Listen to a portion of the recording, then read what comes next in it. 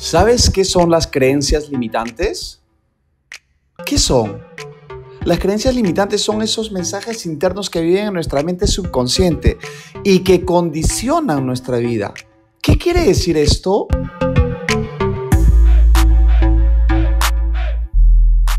Hola, te saluda Juan Ramón Pacahuala, director del programa El Imparable.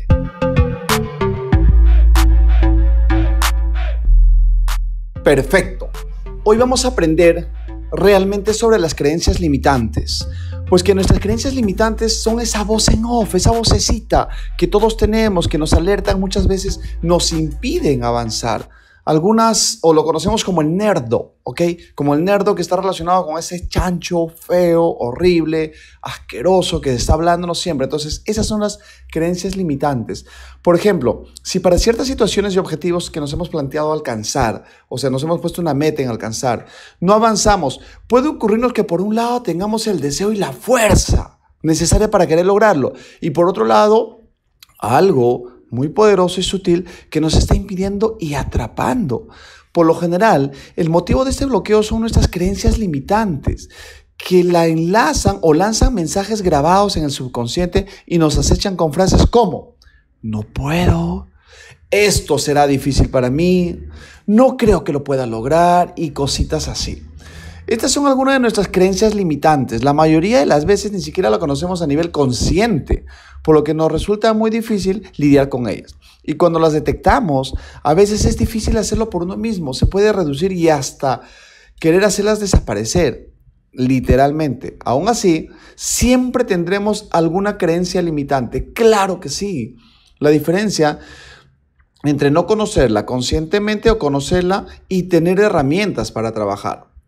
Eso va a hacer que realmente pierda fuerza y no sea un impedimento para que tú puedas lograr tu objetivo, para que puedas avanzar, para que puedas dar esa milla extra que tú realmente necesitas. Y eso es importante lograrlo. ¿Por qué? ¿Por qué, Juan Ramón? Porque las creencias limitantes frenan nuestro desarrollo y de alguna manera nos complica el día a día y realmente en toda nuestra vida, en todo lo largo de los años que estamos pasando. Siempre la tenemos el nerdo ahí al costado hablándonos en esa vocecita y diciéndonos, queriéndonos boicotear. ¿Ok? Al final yo te voy a decir cómo vas a superar estas creencias limitantes al final del audio. Entonces, ¿cuáles son las más habituales? No puedo, no valgo, no soy suficiente bueno, el éxito no es para mí, para mí es muy difícil, o el dinero no da la felicidad. ¿No has escuchado ese tipo de creencias limitantes? Por supuesto, y hay muchas más, me cansaría literalmente. La lista es interminable. Segura, a ver, en este momento, ¿qué está pasando por tu cabeza? ¿Qué te está diciendo? Ya no escuches más el audio, ya déjalo ahí, o ya no vayas a trabajar, o ya no pagues, o qué sé yo. Ese es tu nerdo, es tu creencia limitante. Casi todos están con esta estructura, formulados en creencias y frases que nos acompañan y repetimos continuamente a lo largo de nuestra vida mi trabajo o lo que yo quiero hacer es permite continuamente identificar creencias limitantes en lo concreto con las personas con las que yo trabajo, en mi equipo de trabajo, en mi ambiente de construcción. Y quizá estas son algunas de las más frecuentes. ¿Ok? Vamos a escucharlas. ¿Cuáles pueden ser? Debo hacer lo que mi jefe me dice y quiere. Oye, tú no eres robot, pero hay mucha gente que piensa eso. No tiene la creatividad o la forma de querer aportar.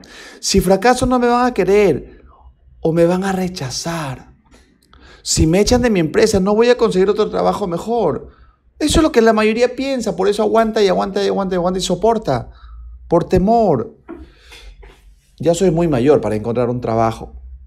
¿Cuánta gente pasado los 40 años dice eso? Y pues si finalmente no encuentra un trabajo, puede ser emprendedor, puede hacer negocios en internet, eh, negocios en la casa, eh, eh, no sé, puede emprender. O la otra, y la más conocida, nunca tengo tiempo. Quizá tú también puedes identificar una u otra creencia limitante en ti o en personas que forman parte de tu entorno.